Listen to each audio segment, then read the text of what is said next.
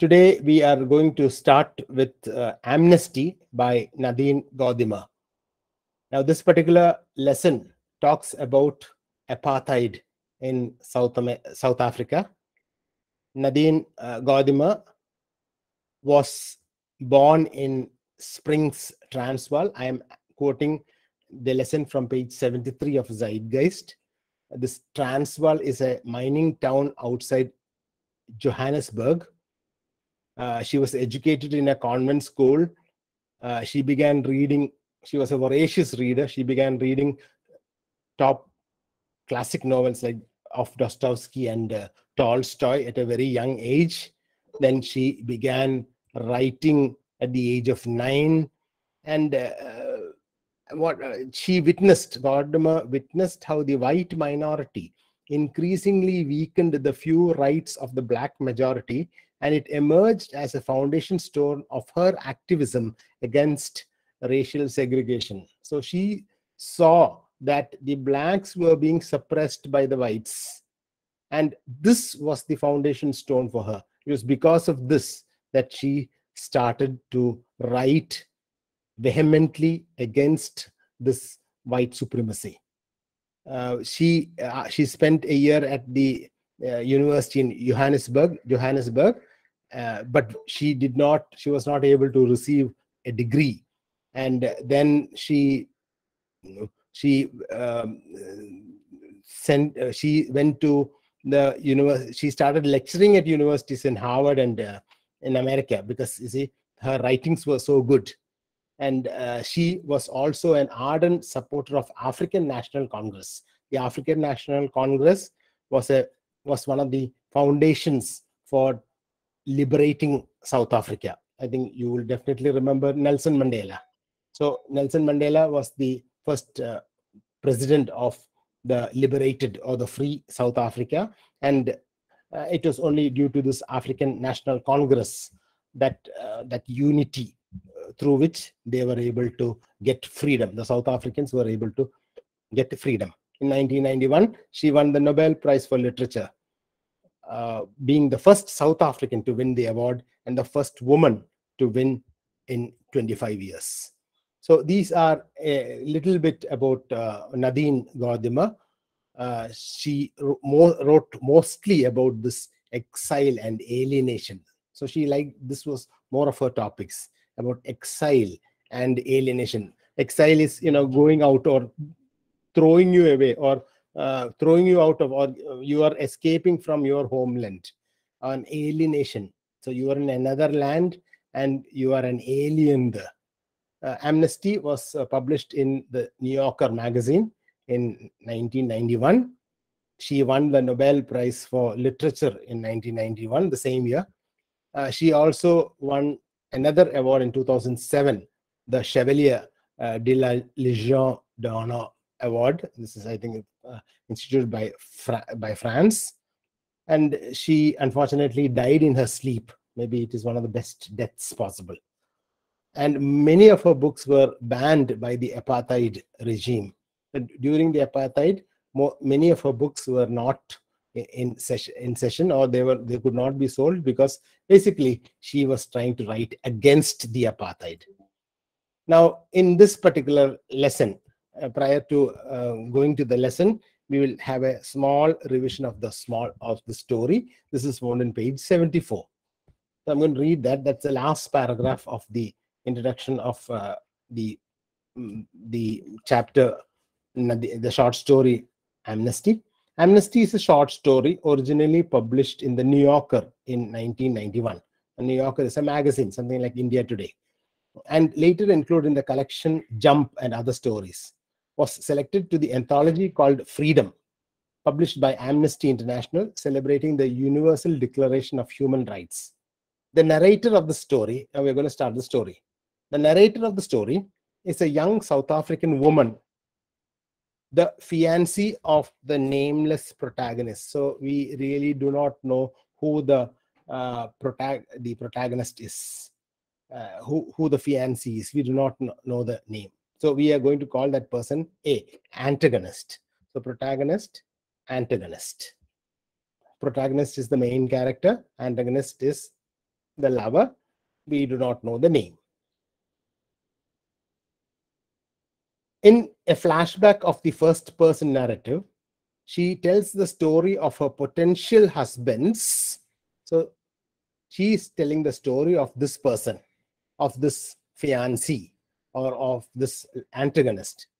Who is this person? He is a South African black trade union, unionist who was arrested after inciting riots among workers.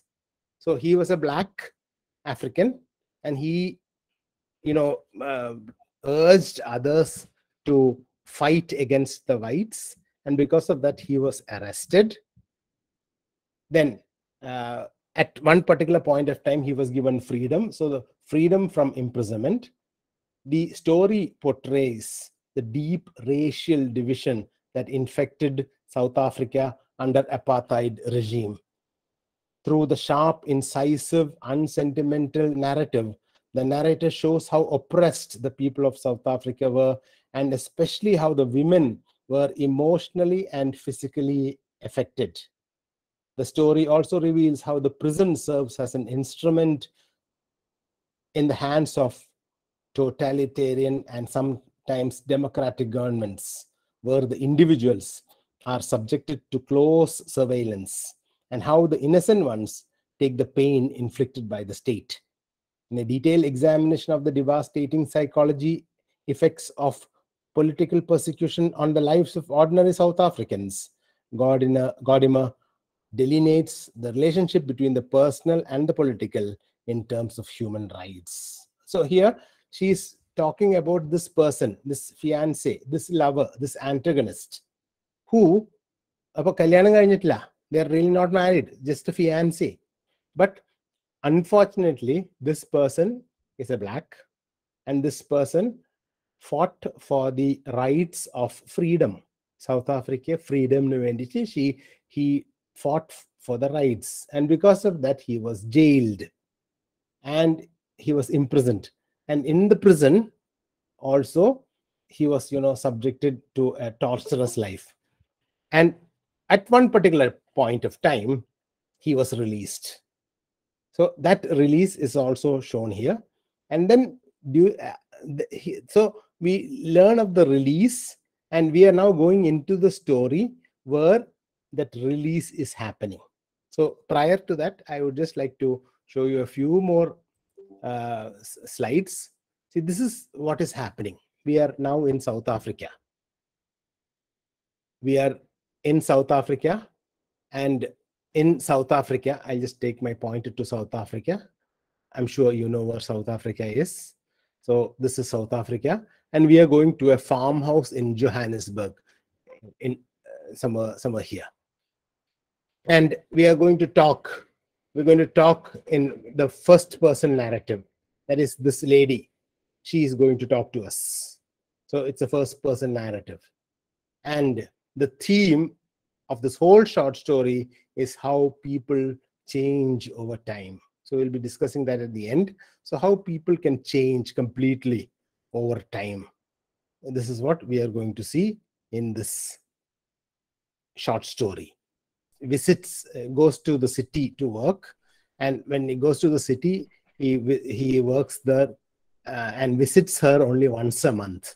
But even then, that once a month, is quite good for the lady. And soon he finds that the narrator, this lady, the narrator, she finds that her lover has joined the union, the African National Congress. So this African National Congress is the is the uh, group which is you know trying to liberate South Africa. So this lover has joined. Till that time, he was in the farm. He was with her, but now he has suddenly joined the African National Congress. Now he goes to jail. He goes to jail. He's on trial, and he and uh, he is sentenced to six years of jail. So ആറ് വർഷം imprisonment കിട്ടുന്നു. Now in in this in between that time that she is pregnant. This our narrator, our lady is pregnant, and uh, the the she, she, she, that child is a girl, is given a name. The name is Inkululeko. Inkulu Leko. So Inkulu Leko. So the lover is sentenced for six years. Now, um, maybe because of good work in the jail, he comes back after five years. So he's released from jail after five years. So naturally, the daughter is now old. The daughter must be approximately three or three or four years old. So the daughter, he's the daughter has been given a lot of uh, stories about the father, but the daughter rec- doesn't recognize him because she's changed so much. The the uh, the the lover has changed so much. The daughter also also changed so much. So they do, don't recognize each other, and the narrator also feels distanced. Till now, you know the the there was a there's a very good love affair between the narrator and this lover. But unfortunately now that sort of a estrangement or that sort of a distancing is now seen. That is the climax.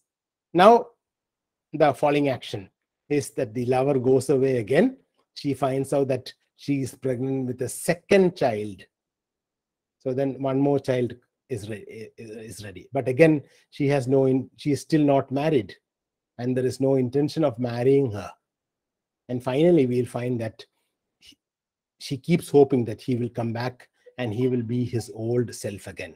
So this is basically the, the plot summary, or this is what we are going to see in the in the story. Now there are certain terms that we I would like to tell you prior to starting the story.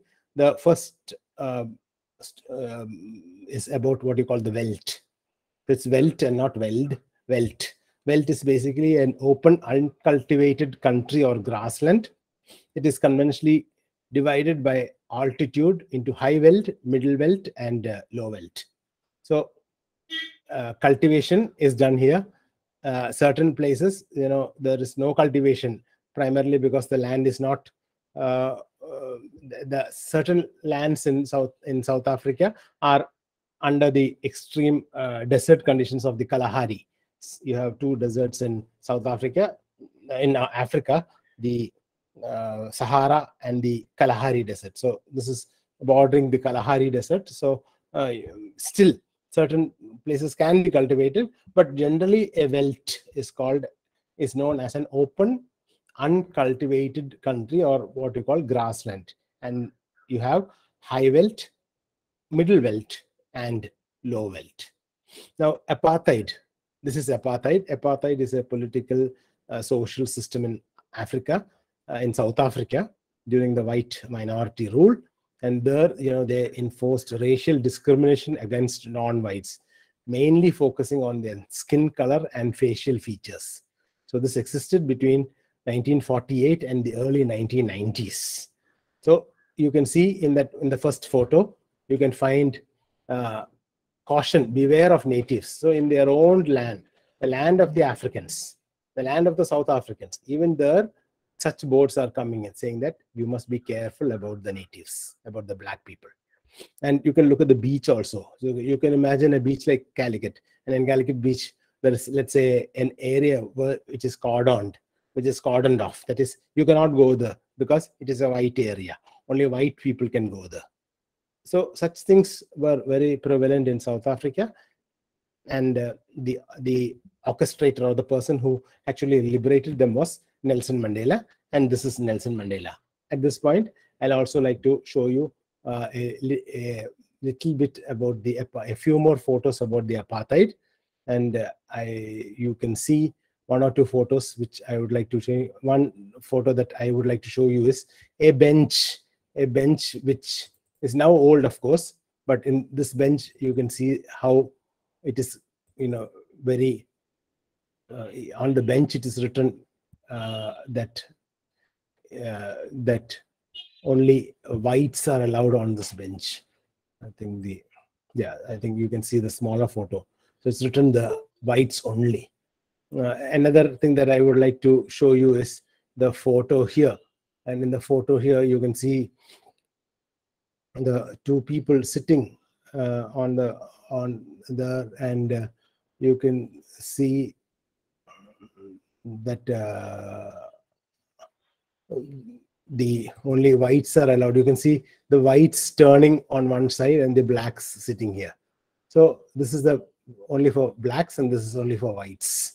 So like this, there are, I, I think there's even one other photo which uh, shows you saw the photo about the beach and all that but there's one particular photo that i'd like to show you it's actually about a railway station now this is the railway station and and, here you see the railway st uh, stations and you see the public premises. Then the amenities have been reserved for the exclusive use of white persons only. So if white persons want to use the bathroom they have to go through this way. And if non uh, non-europeans have to go this way and the europeans have to go this way. So you see like this and this i think even this one more about a, in a railway station where you know the black the blacks might have to see this is a shop but non-white shop. So no, uh, non-whites cannot enter.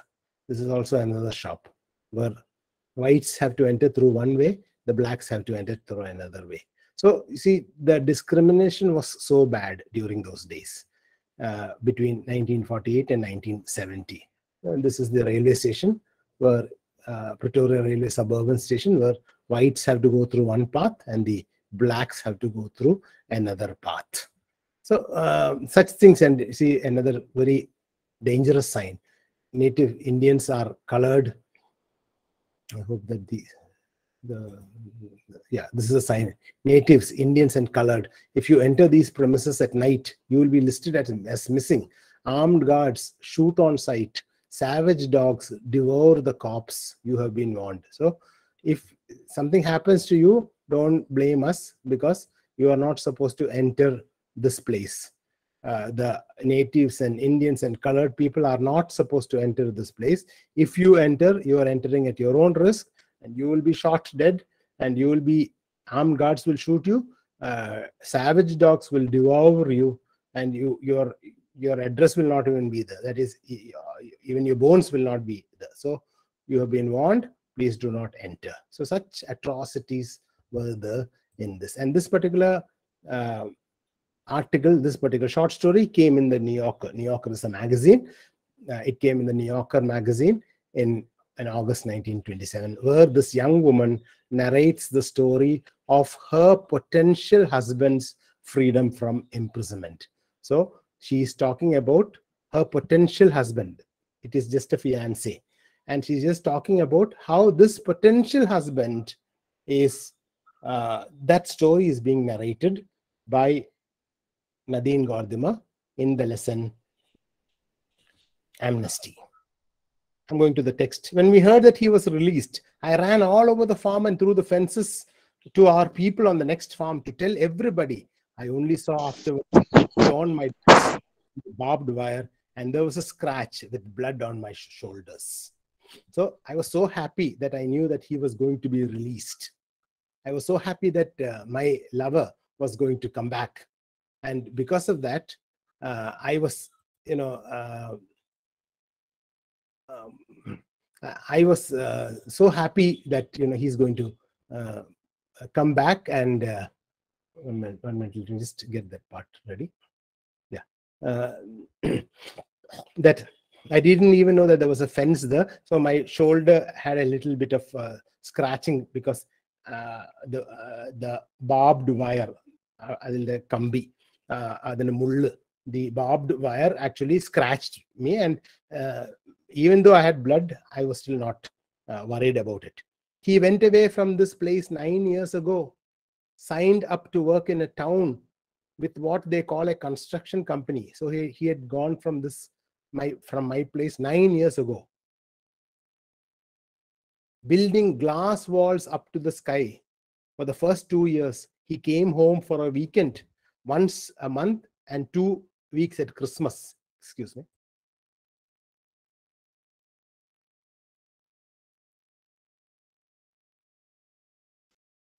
So for the first two years, he came home for the weekend. See the timeline. First two years, he was rather okay. Every every two weeks, he would come home. So he was my fiance. And two weeks at Christmas. That was when he asked my father for me. and he began to pay. So that was the time during Christmas. He asked my father so that he could marry me And he began to pay. So maybe there is a bride price. Wow, Give me a minute.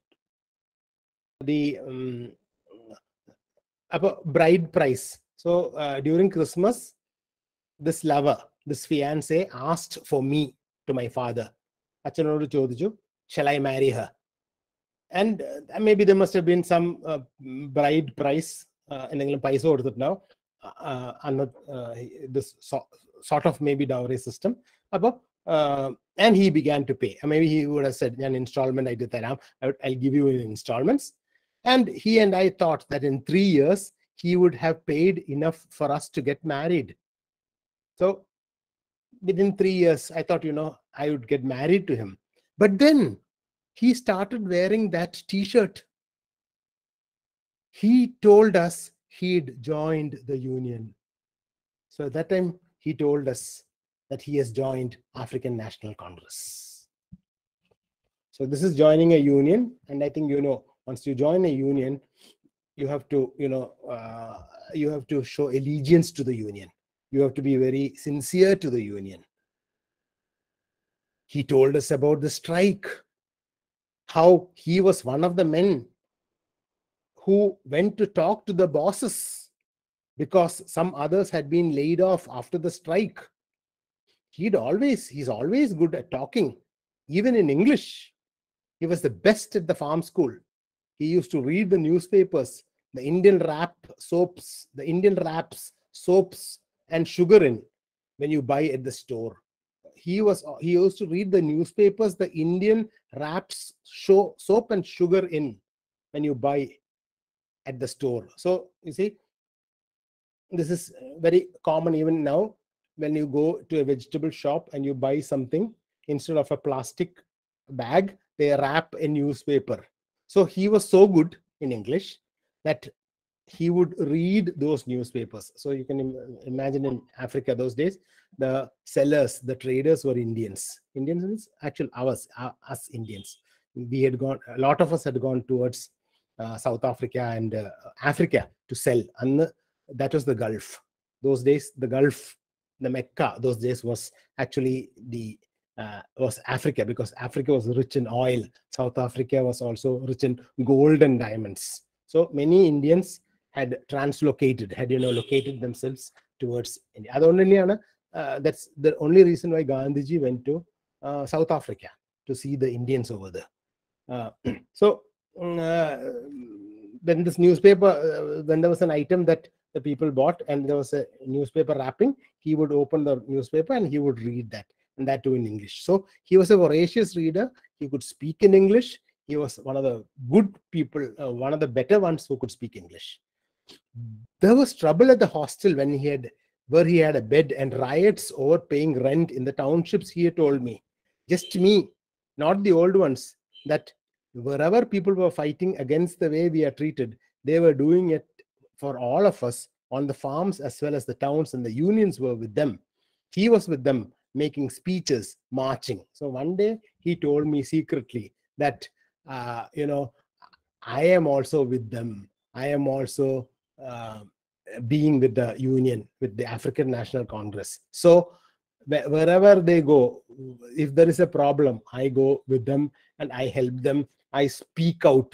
I talk to them. I make speeches. And because of that, uh, I talk to the bosses. I am the I am one of those important people. All these things, this lover had told her. The third year, we heard he was in prison. So three years passed. We hear that now he is in jail. Instead of getting ma- instead of getting married, we didn't know where to find him until he went on trial. So we didn't know there was no internet those days. There was no uh, television those days. So we didn't know where to find him. We, we would look into the papers, and one day we found out that these people were on trial, and our particular day we found his name there. That is how we understood that he is going to court, and uh, be, he would be he would stand trial. The case was heard in a town far away. I couldn't go often to the court because by that time I had passed my eighth standard and I was working in the farm school. Also, my parents were short of money. Two of my brothers who had gone away to work in the town didn't send home.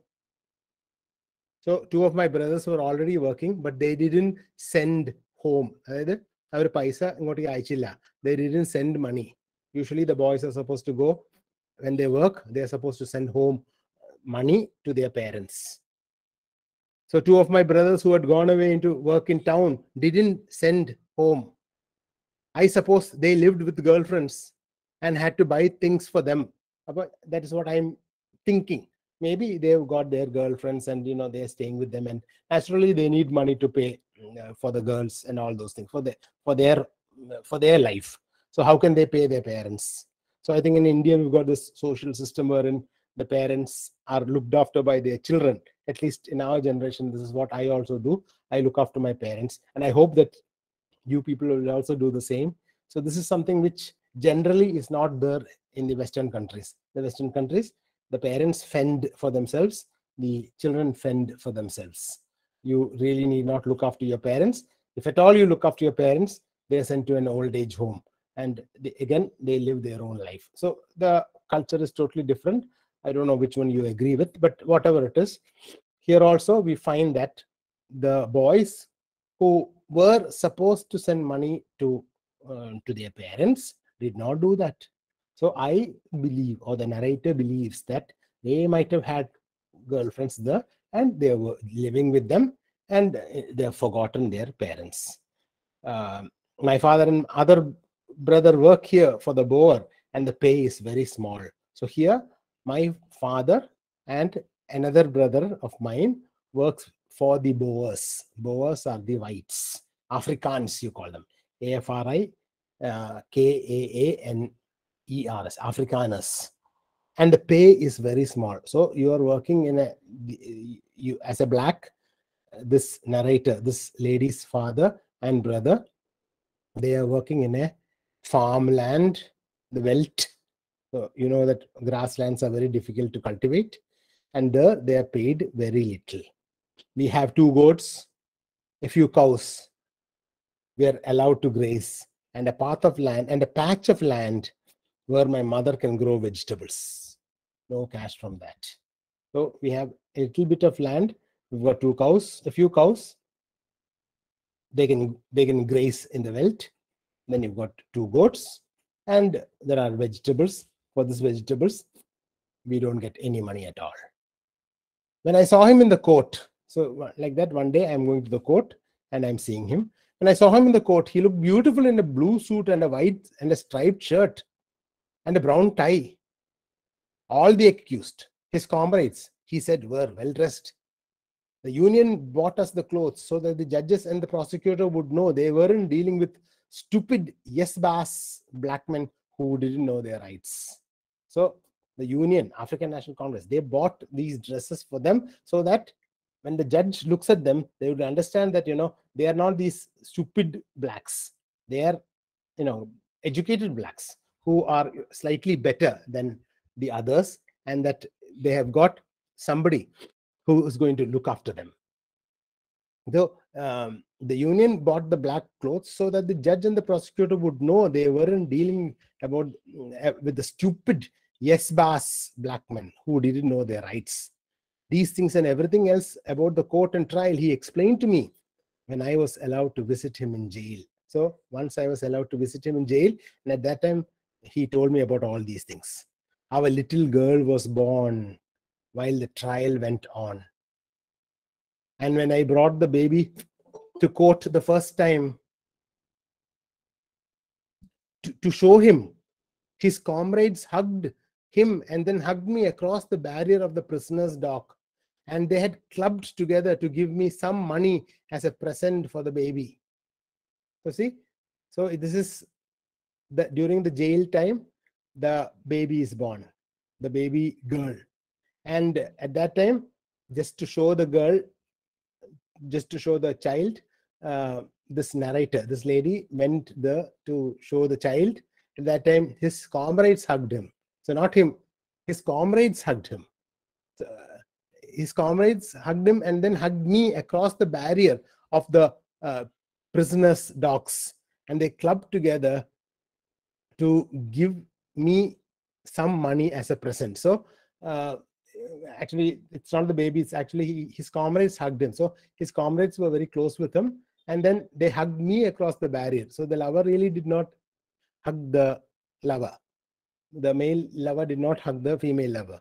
But at the same time, uh, they had given they clubbed together a little bit of money കുറച്ച് പൈസ ഒക്കെ സ്വരൂപിച്ചിട്ട് they collected a little bit of money as a present for the baby and he chose the name for her Inkululeko Inkululeko so the name that he chose for her was Inkululeko Inkululeko one we'll stop with the last paragraph then the trial was over and he got six years. So the judge pronounced the verdict, and the verdict was six years of jail.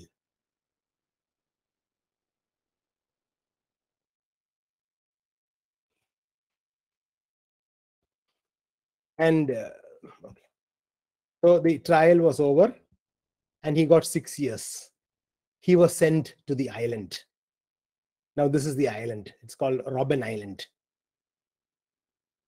We all knew about the island. Our leaders had been there so long, but I have never seen the sea except to color it in blue at school. And I couldn't imagine a piece of earth surrounded by it. I could only think of a cake of dung dropped by a cattle floating in a pool of rainwater they had crossed. The water showing the sky like a looking glass, blue, I was ashamed only to think that. He then told me how the glass walls showed the pavement trees and the other buildings in the high streets and the colors of the cars and the clouds as the crane lifted him on a platform higher and higher through the sky to work at the top of a building. So, this is Robben Island. Now, Robben Island is a place where the famous prisoner Nelson Mandela was also robbed for 18 of his 27 years. So he was jailed for 27 years. And out of that 18 years, he was uh, jailed in this island, Robben Island. And I, so, and this is a place uh, where, you know, not many people can escape. No, almost no one has escaped from Robben Island. It's an island. And if you escape from this, you are shot at sight. So to her, that comparison is so beautiful. And I think you should remember that. This can be asked as an annotation also uh, a cake of dung dropped by cattle floating in a pool of rainwater. So, this narrator, this lady, she has never seen the blue sea. She has never, uh, she all she can, all she has done is colored this in her coloring book.